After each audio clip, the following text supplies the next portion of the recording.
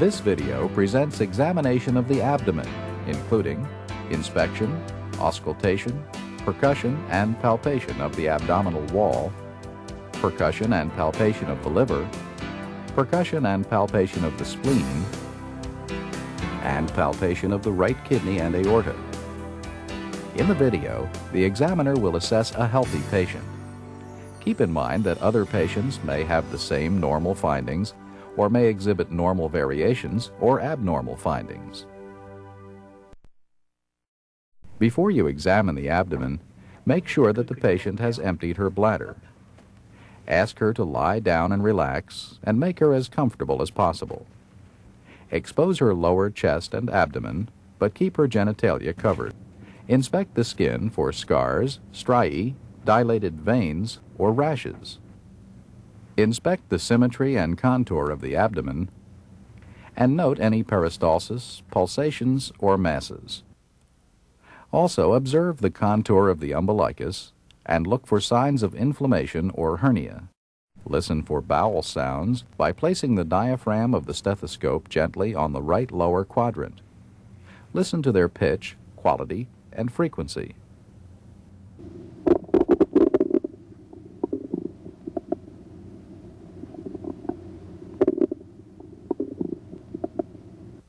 If the patient has hypertension, listen for bruits over the right renal artery,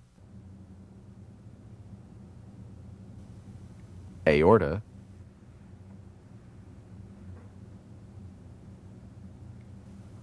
and left renal artery.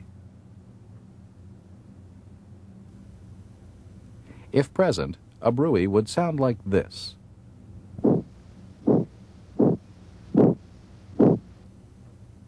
In a patient with hypertension, a bruit raises suspicion of renal artery stenosis, but most bruits have other causes. If you suspect arterial insufficiency in the legs, listen for bruits over the aorta, right iliac artery, and left iliac artery. Then identify and listen over the right femoral artery and left femoral artery.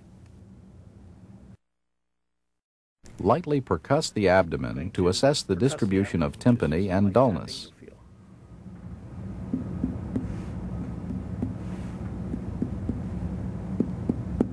Tympany indicates gas in the stomach or intestine.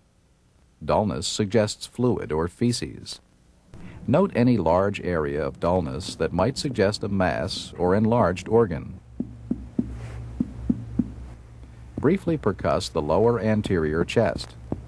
On the right, liver dullness is usually present. On the left, you may hear the tympany of the gastric air bubble.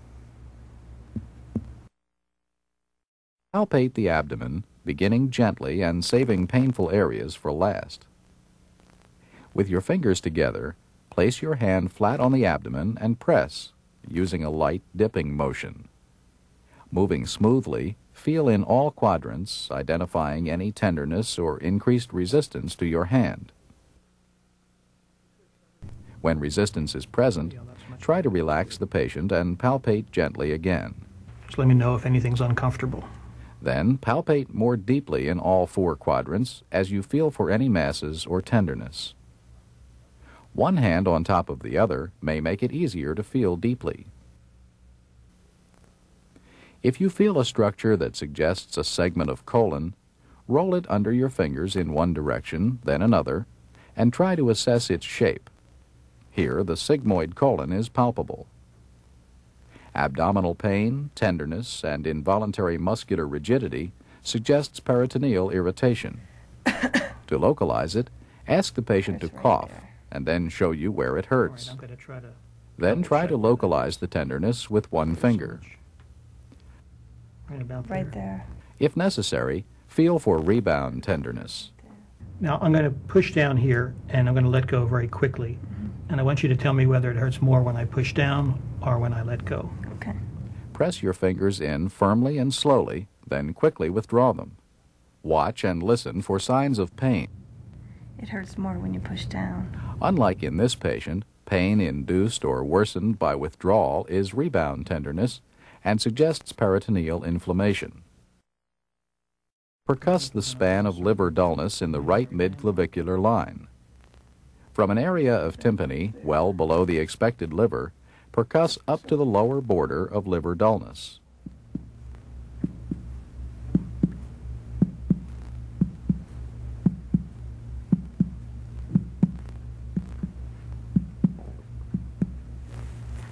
Mark this spot. mark here. Then percuss from lung resonance down the midclavicular line to the upper border of liver dullness.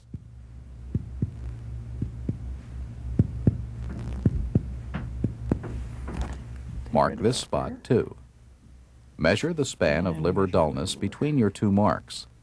Here it is about 7 centimeters. about seven centimeters. To palpate the liver, place your left hand behind the chest margin real deep breath. and your right hand lateral to the rectus abdominis muscles and well below the lower border of liver dullness. Again. Press gently into the abdomen, and as the patient breathes deeply, try to feel for the liver edge as it moves down. If possible, let the liver slip under your finger pads as you feel its surface. Let's try there again. Once more. Let it out. Take a real deep breath. You often need to try again, using different pressures and moving your fingertips closer to the costal margin. Once again, please. The hooking technique may also be helpful. Standing to the right of the patient's chest, place the fingers of both hands below the border of liver dullness and press in and up toward the costal margin. Ask the patient to take a deep breath. Deeper one more time. All right. Out. This liver is not palpable. All right, that's fine.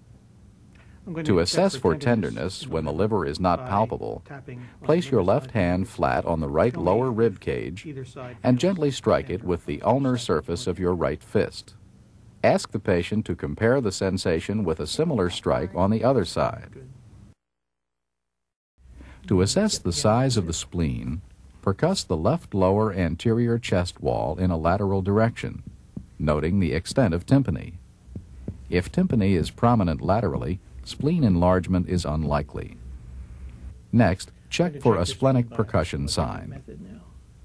Find the lowest interspace in the left anterior axillary line and percuss there. If tympany is heard, Take ask the breath. patient to take a deep breath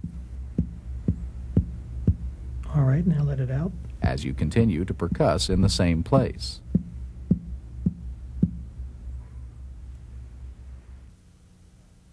When spleen size is normal, tympany usually persists, and the sign is considered negative.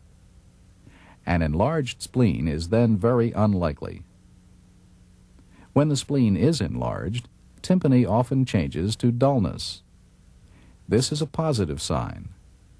This sign may be falsely positive, but it indicates careful palpation. All right, I'm going to see now if I can feel the spleen. Next, palpate the spleen. With your left hand, reach over and around the patient to support the left lower posterior rib cage and adjacent tissue.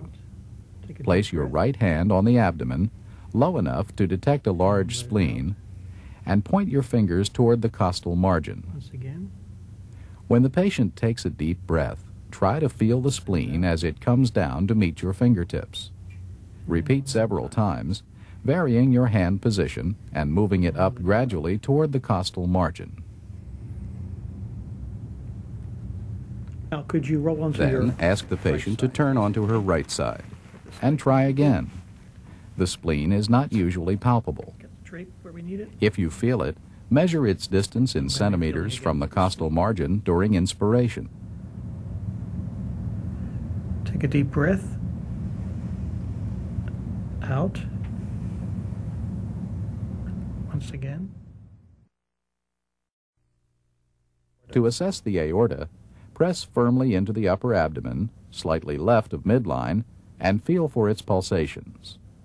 Feel fairly easily. In patients over 50, try to assess the width of the aorta. Pressing deeply with a hand on each side of it, try to estimate its width, normally also 2.5 centimeters or less. We're just about finished. Could you sit up, please? Finally, assess for kidney tenderness when the patient sits up. Check for tenderness. Place the ball of your left hand on each costovertebral angle in turn No, that's okay. and strike it with the ulnar surface of your fist. Normal kidneys are not tender.